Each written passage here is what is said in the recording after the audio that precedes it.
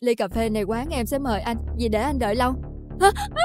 Đó này Tính Dạ, bí anh mật ơi, thằng dạ. này sao hả? Dạ dạ. Mày có tin. Anh ơi nát anh cái quán này hay không. Để coi mày buôn bán dạ, như thế anh nào? Anh đừng có nóng giận. Tụi em cũng chỉ muốn kiếm miếng cơm qua ngày thôi hả? Kêu con anh Ra đây mau lên. Dạ dạ. Anh anh Ê con quỷ cái. Mày muốn trốn tao hả? Dạ. Mày đi đâu? Từ đêm qua Mà giờ này mới về. Mày Nè anh Trời kia ơi anh ơi. lại. Anh ơi anh ơi. À, Anh ơi bình tĩnh Mày là lên. cái thằng nào? Mày dám xí vô chuyện của tao Mày có tin Tao đập nát cái mặt mày không? Anh có tin một cuộc điện thoại công an tới đây liền không? Bớt nóng đi mà? Bớt. Xin lỗi chừng tao á. Ra ngoài đi Cô có sao? Không Con với ông ấy có quan hệ gì vậy? Mà tại sao chú thấy ông ấy quấy đây không ạ Ông ta là ba dưỡng của tôi. Ông anh à Em xin lỗi anh nha. Để lát nữa em kêu con bé kia đem cà phê qua cho anh nha. Thôi anh đi về công ty đi. Không thôi trễ nải công việc của anh đó. Em xin lỗi. Không sao đâu. Anh Đi vô tao biểu Dạ.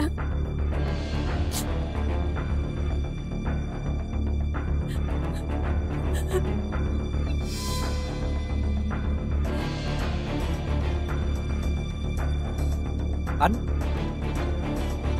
Con đi đâu vậy? Con sao vậy?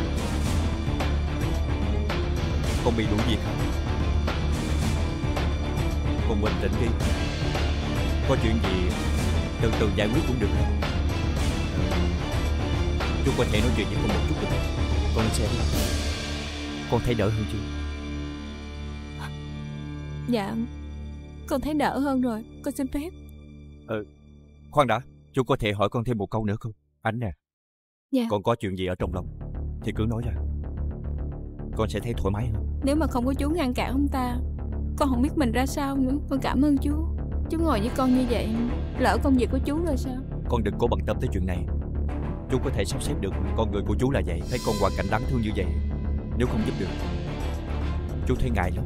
Thì ra trên đời này Vẫn còn người tốt như chú Thiệt là khiến con người ta cảm thấy Có thêm hy vọng để sống Con không có người thân Nói ra được Con sẽ thấy nhẹ lòng. Thực ra Con đang sống với mẹ và cha dưỡng Có điều Không ai hiểu con Nhiều lúc con mệt mỏi lắm. Mà con không thể chia sẻ cùng ai. Chú thấy con cũng lớn rồi mà. Con có thể sống tự lập được. Con cũng muốn lắm.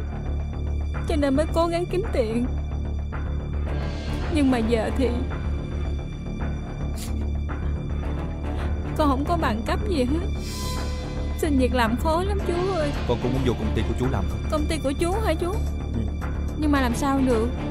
Con mới tốt nghiệp lớp 12 à Công ty của chú lớn như vậy Chắc toàn là người có trình độ cao thôi. Nếu mà con siêng năng, trung thực Thì chú sẽ không tiếc lời giới thiệu con đâu. Thiệt hả chú? Vậy là con có thể vô công ty của chú làm việc hả chú? Đương nhiên rồi. À, Công ty của chú ghé lại tân quận không Ngoại hình của con cũng khá ổn Và lại con có trình độ lớp 12 rồi. Được thôi, chú sẽ giúp con. Con cảm ơn chú Con cảm ơn chú nhiều lắm. Nếu được như vậy thì con sẽ cố gắng làm việc Không có phụ lòng của chú đâu. Con cố gắng làm việc đi. Có thu nhập rồi á Con có thể tạo cho mình cuộc sống tự lập. Con cảm ơn chú nhiều lắm. Chú thiệt là một người tốt Tốt tốt tốt tốt nhất trên đời mà con từng gặp đó. Thôi được rồi. Con đừng có tần bốc chú nữa Chú ngại quá. Nè Con cố gắng lên nha Dạ